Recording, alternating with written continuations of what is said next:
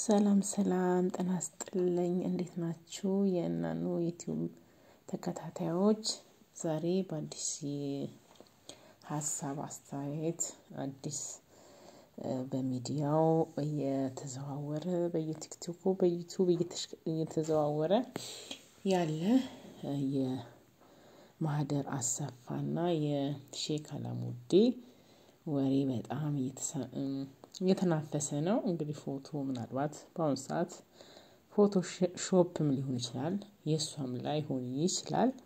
ከአንደበቷ እኔ አግብቻለሁ ብላም አልተናገረችም። ያው በጭምጭምታ ብቻ ነው ሰው የሚያወራው እና እኔ እዚህ ላይ ሀሳብ ያለኝ እንኳን አገባች እሰይ ነው የምለው።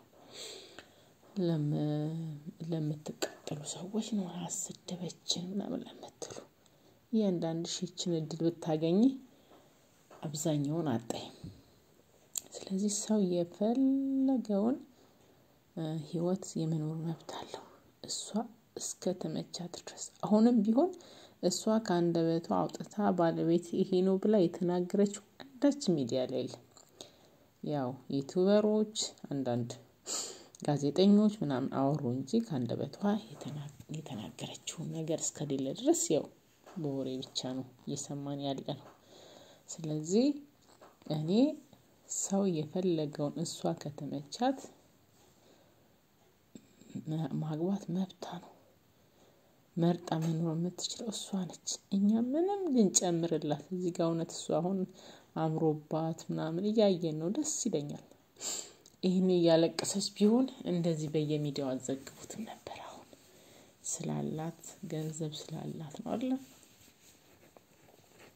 ለዚህ እች ልጅ አሰደበችን ምትት ምንድን ነው ያሰደበቻችሁ? ምናችሁ ተነካ?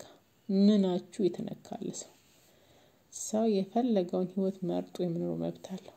በቃ እዚህ እናንተ ግዴታ በዚህ መንገድ ይሂድ የሚባል ነገር የለም። ሰው የተመቸውን ህይወት ይኑር እናንተን እስካልነካችሁ ድረስ።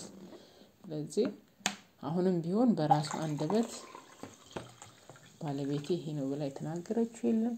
ያው ሰዎች በሚለፈልፉት ነው። እኔ በእኔ አስተያየት ሰው ማንኛውም ሴት ወይም ወንድም መርጦ አግብቶ የመኖር ህይወት መብቱ ነው ብዬ ማምን ሴት ነኝ።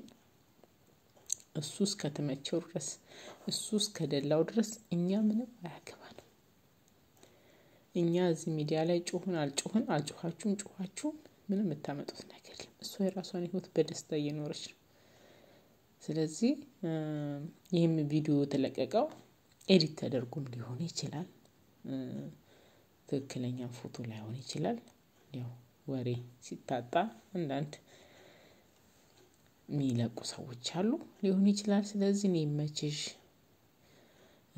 የአብርሃም የሳራ ያርግልሽ ትዳርሽ። አንቺ ከተመቸሽ ስለ ሰው አትጨነቂ። እኔ ሚዲያ ላይ ወጡ ተቸገርኩ፣ አለቀስኩ ብሎ ከሚል ሰው እንዲህ አግኝታ እንደዚህ ብር ይዛ ምናምን ሲሉ ደስ ይለኛል። ስለዚህ እኔች ልጅ ጥሩ ነገር ስላላት ጥሩ ህይወት ስላላት ይመቻት ነው ስለዚህ አፋችሁን ሰብስቡ ሴቶችዬ፣ አፋችሁን ስብስብ። በሰው ህይወት አያገባችሁም። አብዛኛው ሴት ይችን እድል ብታገኝ እውነት እሷ ያገኘችውን ሀብት ብታገኝ አጠዩ አንወሻሽ አጠዩ። ስለዚህ አፋችሁን ሰብስቡ። ተዋቲ ልጅቷ የራሷን ኑሮ ትኑሩበት ትኑሩበት ነው ምለው። ይመችሽ ማህደር አሰፋ። ስለ ሰው አትጨነቂ። አሁን ብዙ ጊዜ ከሚዲያውም ጠፍተሻል፣ ጥሩ አድርገሻል። ስለዚህ እግዚአብሔር ያሰብሽው አሁንም ደግሞ ትልልቅ ሚዲያዎች እንትኖች ልከፍች ድርጅቶች ልከፍች እያሰብሽ ነው። ያሰብሽው ይሳካልሽ ነው ምለው። ለሌሎችም ሰዎች በእንደዚህ አይነት ህይወት ውስጥ